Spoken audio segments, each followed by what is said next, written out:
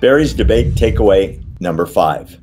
On veterans, Trump was brilliant with just a few lines like, quote, Biden is putting illegal immigrant criminals from the jails and asylums into expensive hotels while our veterans are living on the street. And I treated the vets much better by streamlining their health care, allowing them to go to private doctors, and eliminating the months long waiting lists at the VA facilities. Unquote. Biden had no decent response.